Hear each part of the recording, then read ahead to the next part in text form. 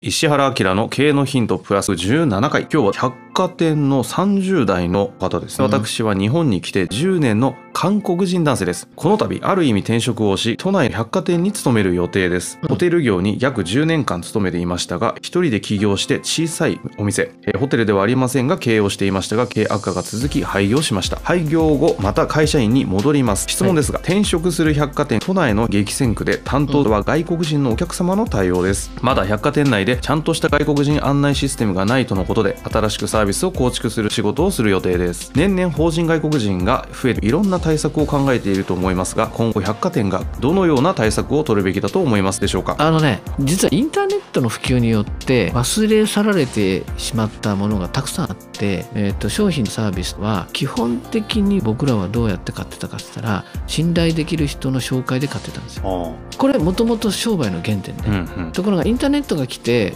人に聞かなくても情報取れるぜってなってコミュニケーションしたり人を頼ったりとかしなくてもいいってなったわけですよ。だからインターネットが普及する前にやってた普通のビジネスが一回インターネットが入ったことによって丸っこ崩壊して何していいか分かんないからこういう質問が来るんですよ。極論言えば原点に戻る感覚を何かしなきゃいけない。本来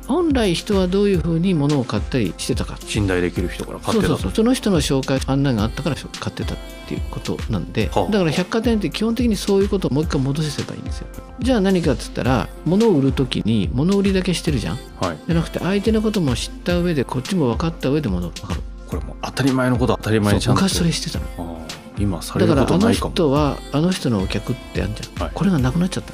これ美容師でも何でも全てそうで物売りだけになっちゃったの。物のやり取りお金のやり取りになっちゃってそこにコミュニケーションっていうのを入れなかったわけですよね。関係性の構築がどこにもないんですね。そうそうそうそうだからネットと同じような接客になってしまい効率になってしまいこれねやり方だよ。例えばそのファストファッションもそれで崩壊したと思ってるの俺、はい、なぜかってさ本来ファストファッションって人のいる場所がないからだから潰れるんじゃないって思ったわけよ。商品いいものを作り続けるのが難しいから、うんうん、まあ、それがまあ変な話ユニクロまで行っちゃって国民の下着みたいになっちゃえばあとその層みたいにそのなんかそそういうとこまで行って、はいはい、全てをタグでやってりゃさ、うん、ブランドとかなんかそういう時はいいかもしれないけどみんな飲食店さ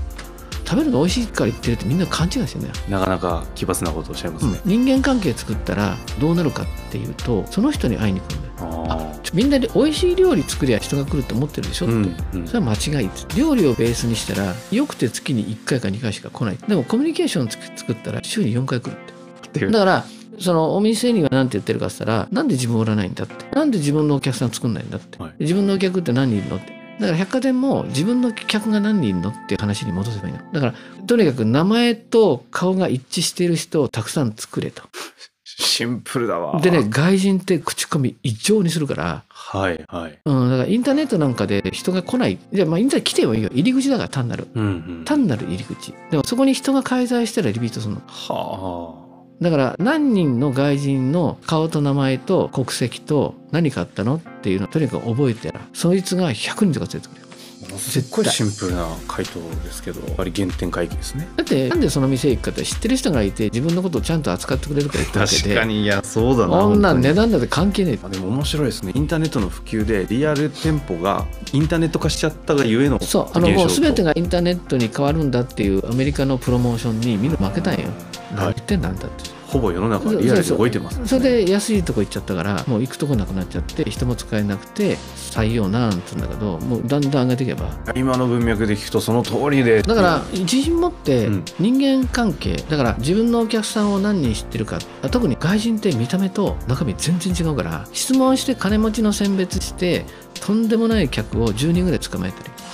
そこから後ろをネットワークしたら特別待遇を全部彼にしちゃう。大事なお客さんその方に当てられます、ね、そうそうそう。僕に全部当ててくれと。僕分かるから。で聞いてもうそういう束を作ればいい。あこれ牛耳れるよこんなすぐ。百貨店はねお客さんお金持ちも多いですしね、アクセスしやすいですね。というわけで石原先生ありがとうございました、はい